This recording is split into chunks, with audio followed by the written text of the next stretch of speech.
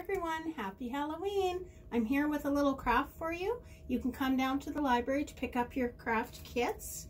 In your kit, you'll have everything you need to make a spider.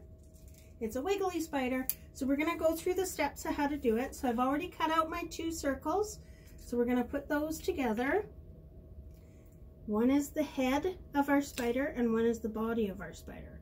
So we're gonna do that and then we're gonna flip it over and we're gonna put some glue where we're gonna put the legs. So I'm gonna put four spots of glue because we need four legs on each side because the spider has four legs, right?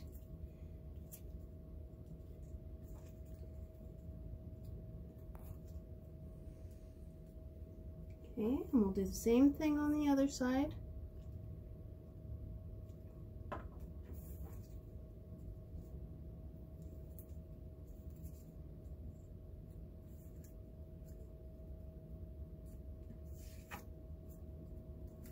Okay, next you're going to take your stick and then you're just going to put that on the bottom of the spider and I'm just going to use a little piece of tape for that.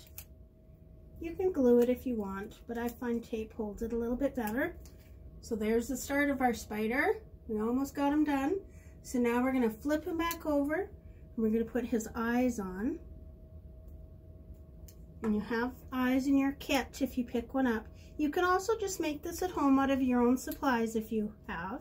You just need four pieces of, um, I had four pieces and I cut them into two so we end up with eight legs and then two circles. That's pretty much all you need. You could even just draw on your eyes. I'm going to draw on a mouth.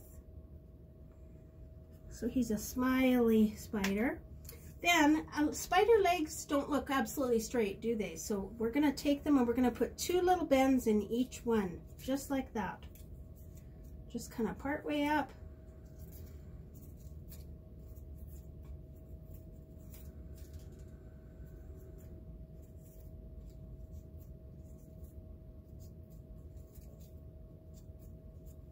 And there we go. There's our spider. You can make him creep and crawl.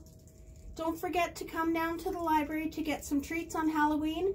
And for the bigger, bigger kids, maybe age 12 and up, and parents, we have a spooky story stroll at the library. So come down and have fun with that one. Happy Halloween!